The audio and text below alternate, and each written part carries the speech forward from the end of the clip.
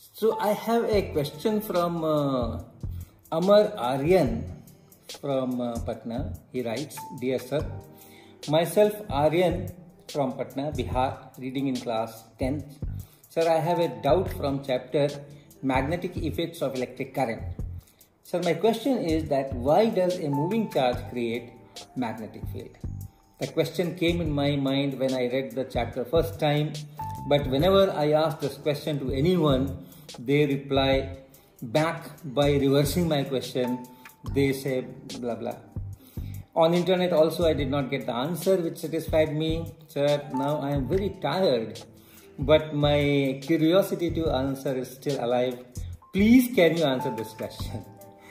Yes, I can answer this question, but I am afraid that uh, the answer is not going to be simple.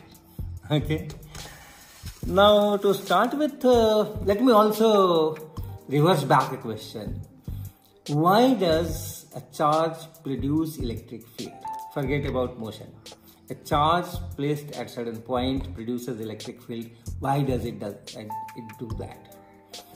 Okay, so you accept that this is property of the charge to create electric field you can also accept that it is a property of the charge that when it moves, it creates magnetic field on top of electric field. Okay, so that's the simple thing which I can tell you at this stage.